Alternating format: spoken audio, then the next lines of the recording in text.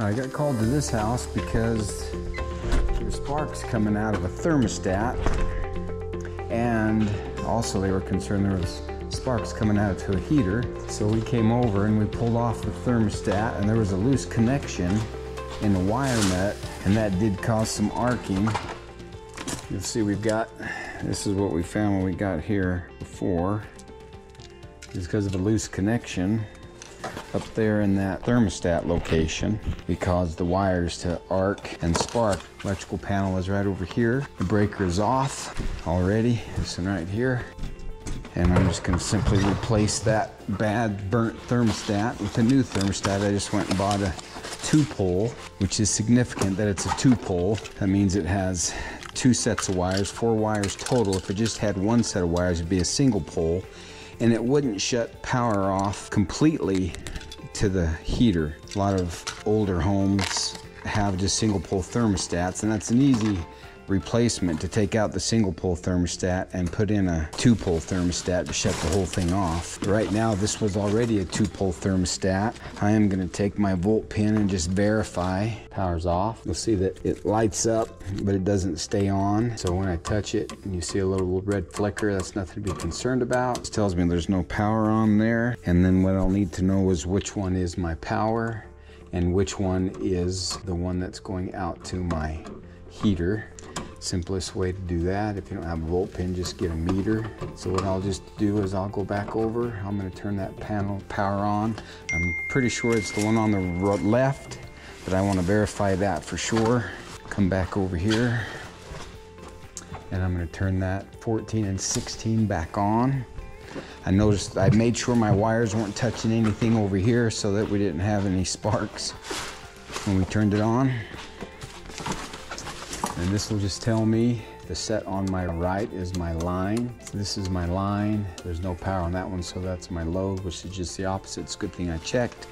So on the right's my line, on the left is my load. Turn this breaker back off, 14, 16. Now it is off. Just pop that off. You'll have two sets of wires. It'll also tell you on it, if you look close, it'll say line is red, load is black. This top is a set and this bottom is a set. So you're gonna go line. Remember line is red. So we'll take line, which we know is on the left, and get it snug on your wire nut. And then you're gonna take the other line to your other wire here. Not gonna work right because it didn't, it shouldn't have hurt it with the back, the outside of it being a little discolored on it, but for some reason it's not cooperating, so we'll just use another one get that nice and secure.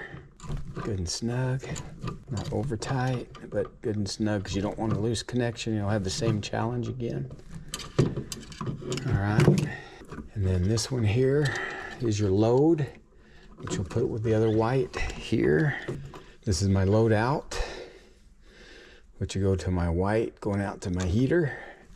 And like I mentioned before, this will just make sure when the thermostat's off, it shuts off both of the circuits, both of the 110 on the breaker.